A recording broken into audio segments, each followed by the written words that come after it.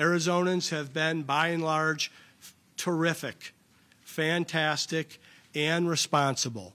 But we have found some situations and categories where we need to take more aggressive actions, and that's what we're going to do today.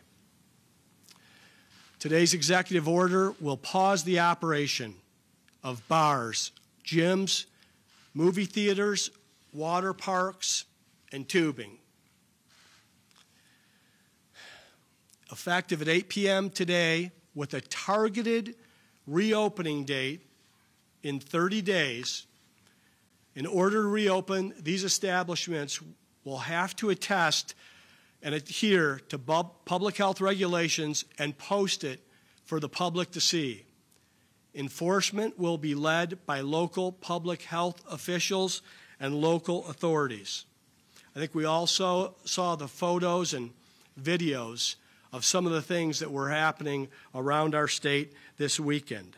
And the result of that has been an increase in the spread.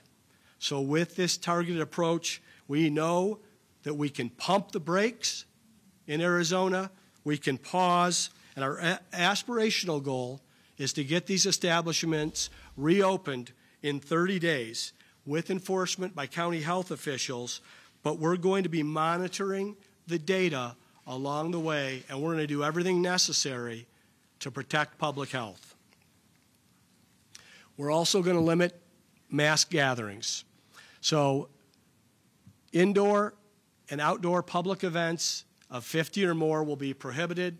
The Department of Liquor Licenses and Control will cease issuing special event licenses, and this is applicable statewide.